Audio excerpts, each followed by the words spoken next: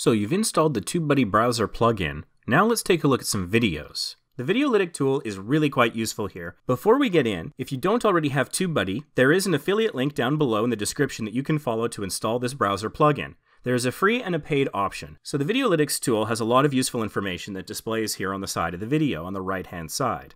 The summary is some generic information that you'd normally be able to see. The total number of views, the total number of comments, the number of thumbs up, and the number of thumbs down. The next section is much more interesting SEO. This stands for Search Engine Optimization. And this has three important rows. The first row is showing you how many videos from this channel are being suggested on this screen. The second row is saying that this video's tags appear a certain number of times in the title and the description. This is for something that I call keyword alignment. You're going to want some of the same words to appear in the title and the description and the keywords, and this is telling you how many do. The third line is indicating that this video has five of its keywords that are ranking for this video. When we get down to the tag section, I'll explain more about that. You'll notice that the three numbers in this box have different colors. The red zero indicates that this is sort of below average performance and that you would want to do what you can to try and increase that number. The black number is middle of the road. This is average and acceptable and fine. The green number is above average or very good, and you probably don't want to mess with that too much because you're already doing quite well. The next box down is the social box. This shows you how many likes this video has on Facebook, how many times it's been upvoted on Reddit, and how many times it's been mentioned on Twitter. Now, if you notice next to the upvotes and mentions words, there is a box with an arrow pointing out of it. If you were to click on either one of these, it would take you to the relevant social media platform and show you every time this video had been shared there. So if you wanted to click on the Reddit one and go upvote people who've shared your video, that would be a good thing to support your video. Also, you click on the box next to mentions, and it'll take you to Twitter and show you every time this video has been shared.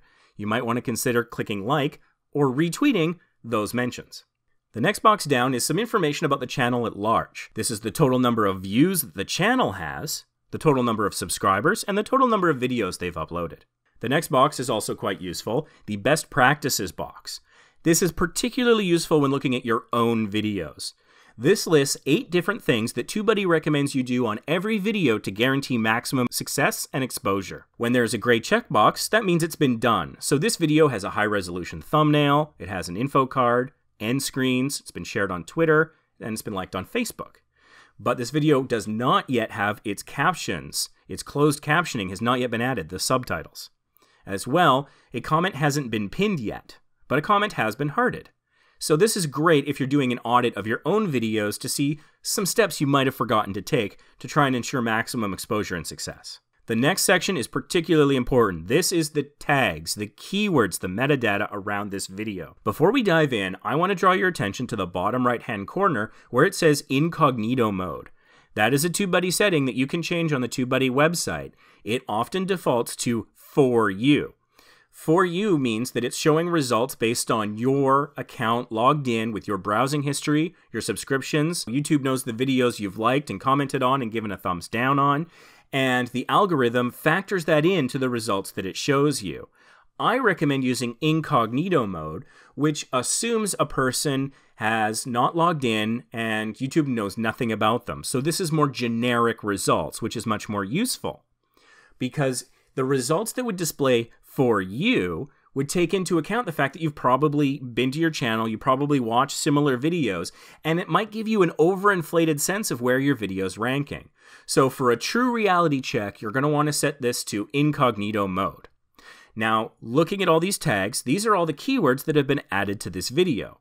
In the bottom right hand corner, the copy to button would allow you to copy these all to your clipboard if you wanted to do something with them, work on them, use them for your own video, change them up a little, uh, for whatever your purpose is. You can copy them and then use them as you see fit.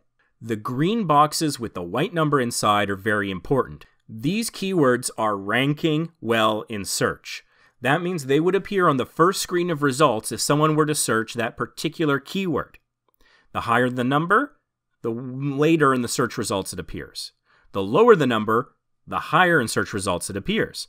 So, number one, that keyword, if you were to search that in YouTube, when you weren't logged in and YouTube didn't know anything about you, this video would come up number one. That's ideal. If you can get a bunch of these keywords with number one on them, your video is going to do very well in search and recommended and discovery. And that's fantastic.